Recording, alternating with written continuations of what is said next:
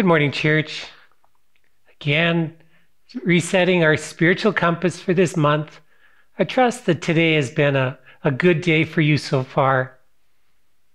28th is another, got three more days left. I encourage you over the next three days to really take time to focus your heart. We want to see God speak clearly. So we're gathering with churches from around the world and, and we're asking for some very specific things. We're asking God to break evil. We're asking God to empower his people and we're asking God for a harvest. So let's just be really clear in our request. Let's be real strong, strong in our request to God. Also, as we do this, I again encourage you take some time. Don't be afraid to take a little more time over these next three days. And if you need to gather with somebody, I encourage you in this last three days, take some time and gather with God's people or fast and pray. And when God shows you, write them down. Okay, Psalm 28. To you, O Lord, I call, my rock. Be not deaf to me lest if you be silent to me, I become like those who go down to the pit. Hear the voice of my cry, or hear the voice of my pleas for mercy, when I cry to you for help, when I lift up my hands toward your most holy sanctuary. Do not drag me off with the wicked, with the workers of evil, who speak peace with their neighbors, but evil is in their hearts. Give to them according to their work and according to the evil of their deeds. Give to them according to the work of their hands and render them their due reward. Because they do not regard the works of the Lord or the work of his hands. He will tear them down and build them up no more. Blessed be the Lord, for he has heard the voice of my pleas for mercy. The Lord is my strength and my shield. In him my heart trusts, and I am helped. My heart exults, and with my song I give thanks to him. The Lord is the strength of his people, he is the saving refuge of his anointed. Oh, save your people and bless your heritage. Be their shepherd and carry them forever. Psalm 28 is a prayer for mercy. David is saying, Lord, I'm crying out to you. Don't put me in the same category as the wicked people. People who don't do what you ask them to do. People who lie with their tongues when their heart is not in it. People who speak against you because that's not who we are. That's not who God's people is. That's not who David is. And I trust that's not who you and I are. So, what does David say? God, deal with me according to your mercy. Deal with me according to your mercy. In other words, God, my heart wants your forgiveness. My heart wants to follow you. Yeah, there may be times I've struggled, but my heart is for you. The enemies, they don't have that heart. They don't care to have the mercy of God released to them. They just don't care. And so it doesn't happen. God's mercy will not be extended toward them.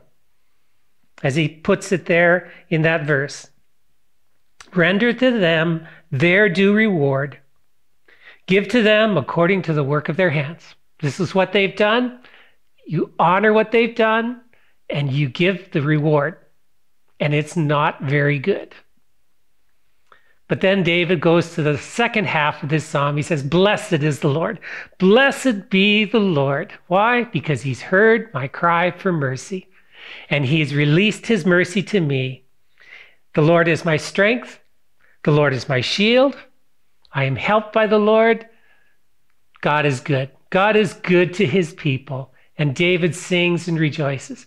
But he doesn't just stop with saying, Lord, be the be the God of who's taking care of me. He also says, God, be the strength of your people. Lord, your people need your strength.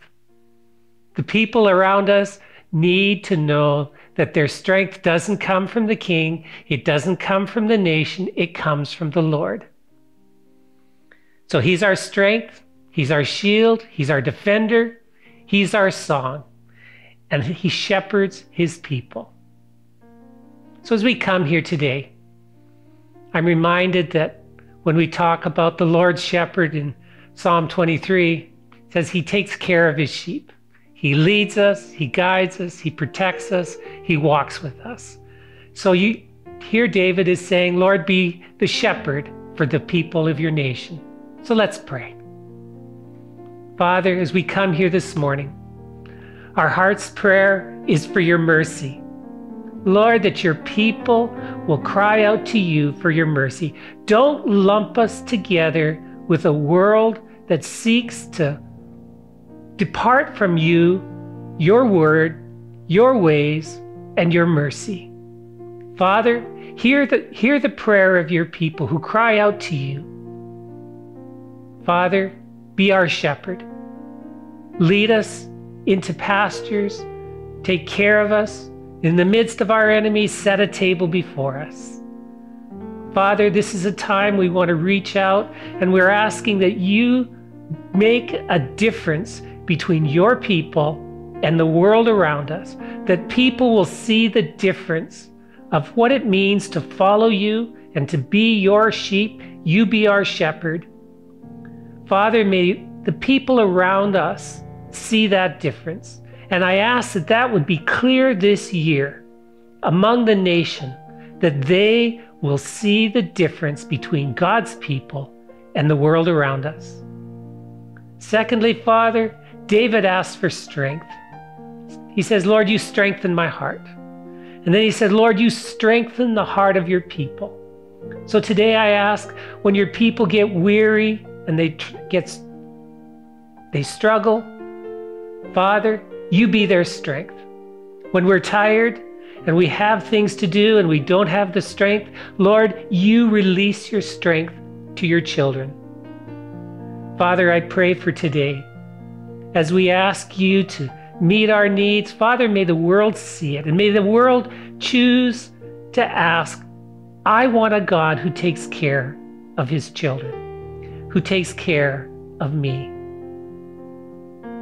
So, Father, as we pray your prayer today, we pray it as your sheep. We pray it as your children. We pray it as people who've received mercy from our God. So, our Father, who art in heaven, hallowed be your name. Your kingdom come, your will be done on earth as it is in heaven. Give us this day our daily bread. Father, we're your sheep. We're your children. Give us our daily needs. Lord, there's some people, those needs are greater than others. Lord, meet every need today of your children. Forgive us our trespasses as we forgive those who trespass against us. And lead us not into temptation, but deliver us from evil. For yours is the kingdom, and the power, and the glory forever and ever. Amen.